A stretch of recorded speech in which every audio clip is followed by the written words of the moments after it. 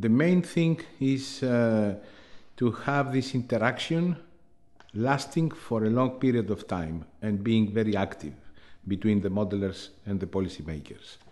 We had, the, I mean, from a technical perspective, these, the models we have developed in the 90s uh, had the originality that they were focusing on the markets. So the market equilibrium, the prices of energy commodities is explicit. It's not just social planning. They are models that simulate the, as much as possible the realistic behavior of actors and the outcome of markets. So this is straightforward for policymakers. They can understand. And um, the model can also show interesting things also for the short term. Because the policymakers often uh, look at the short term. And uh, if uh, the result for the short term is, uh, has a meaning for them, or if it can be validated, this gives credit for longer term simulations. So this, so to say, realistic approach, also with a lot of details and a very large database, etc., um, you know, gives the possibility to use the model for the communication purposes.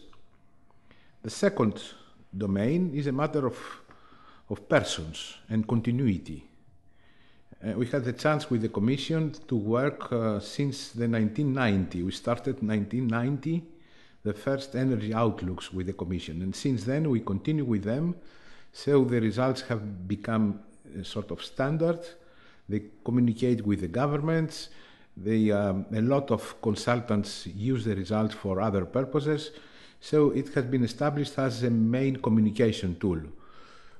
It's not so much uh, that uh, the models provide any original results or something unknown it's not a forecasting tool, not at all all that.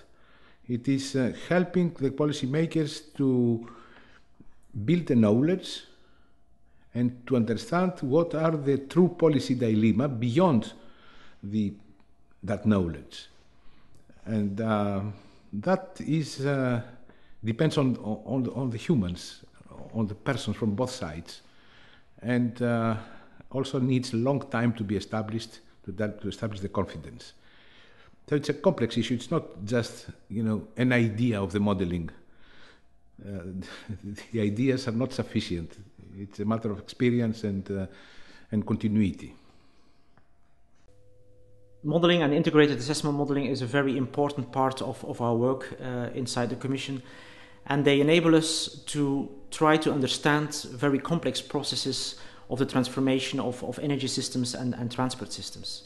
So they are a tool not to forecast uh, the future, but they are a tool to understand the implications or the potential implications of certain policy options, of uh, design issues, of things like the emission trading system. And they are also a tool to communicate that kind of information and to enter into a dialogue with all kinds of stakeholders, whether it's the member states or the European Parliament uh, or the industry, the business community, or NGOs. So it, it is a tool that helps us on the first, in first instance to understand um, the implications of certain policy options or po policy decisions, but also a tool to dialogue them, to communicate them to the outside world, so that there is a better common understanding of what uh, different um, policy choices mean. For that reason, we are actually having uh, inside uh, my unit a team of, of 10 economists, and we work together with a large part of the modeling community in Europe and even outside Europe.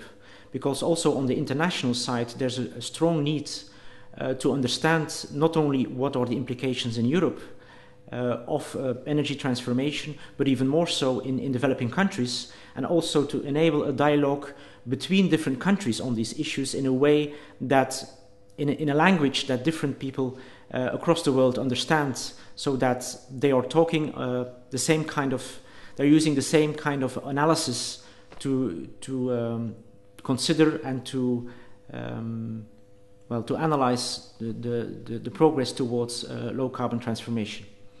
So it is one way of um, trying to build bridges between uh, between different countries and between different stakeholders to um, to enhance the coordination.